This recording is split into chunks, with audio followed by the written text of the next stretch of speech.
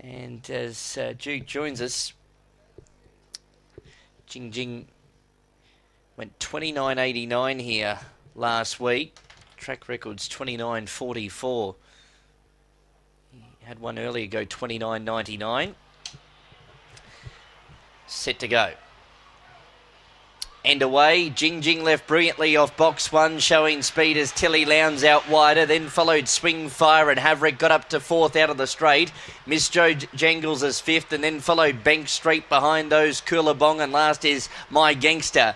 Jing Jing by four lengths off the back straight. Tilly Lowndes a clear second and railing through as Swing Fire. Then followed Miss Bow Jingles and heading the others as Bank Street, but Jing Jing's gone further ahead. Jing Jing now six, seven in front. It's all Jing Jing. Jing Jing beat. Second Swing Fire, third Bank Street, and fourth in Tilly Lowndes. And then followed My Gangster behind those Miss Bow Jingles and Haverick and Coolabong with the last couple of clock in around the 29.80 mark again for Jing Jing. Remains unbeaten. Three from three for Christopher Nutt and slightly quicker than last week. It's gone 29.84 this week. One, two, six. Go up in the frame. Jing Jing is a daughter of Barcia Bale.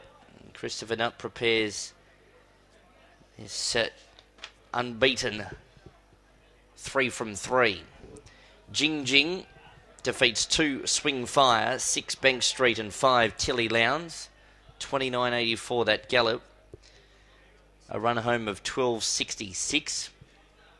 Number four was officially fifth, Bispo Jangles, and nine ran sixth, My Gangster. One, two, six, five, four, and nine. Seven and a quarter by a head of the margins. Seven and a quarter by a head. And the splits 543, 17, 18. Run home of 1266. Overall gallop 29.84. Big win to Jing Jing, remaining unbeaten. Uh, Kev after race number eight, uh, favourite punters home in the last leg of the quaddy.